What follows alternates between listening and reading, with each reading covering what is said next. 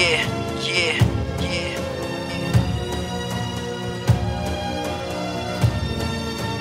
Symphonik bang! Don't know what I'ma say, but I'ma say it.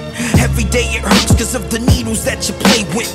Made it hard to breathe when you were smoking in the basement.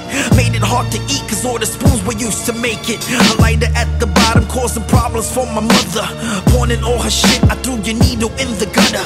She made the bread and butter while you spent it on the heroin. Acting mellow in the house. I believed that you was out. What I believed to be was sleeping was the feeling of the drug. You were leaning with the cig, burning holes inside the rug. Lighting up the butt instead of lighting up the front. Of me, like I was motherfucking stupid, huh? My father did it too, and maybe you picked up the habit. But that's no reason to be selling mountain bikes so you could have it. Had to ride around in buses, I couldn't buy another. That's when I started kicking it to women while the rubber was nowhere to be seen.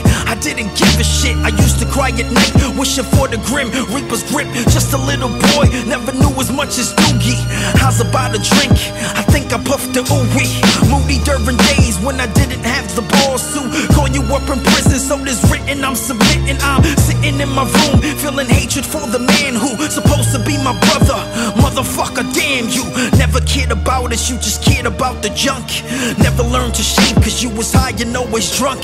Teaching me the way to live was never in your do list. Too pissed to regroup, I became secluded. Call myself the soloist, I did it all. Alone, alone,